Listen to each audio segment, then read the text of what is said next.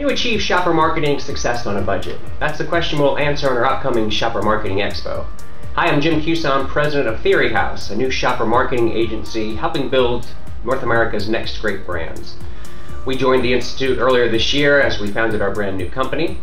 So our seminar, uh, part of the Small Budget Excellence tract, is going to focus on optimizing your shopper marketing investment. We call it Big Bang on a Budget. We'll explore how you can gain insights in a more affordable fashion, cite real case examples of brands achieving success on a limited budget, and overall just highlight some of the opportunities to optimize your shopper marketing investment. Hope you can join us. We're Wednesday afternoon at 2.30. Thanks.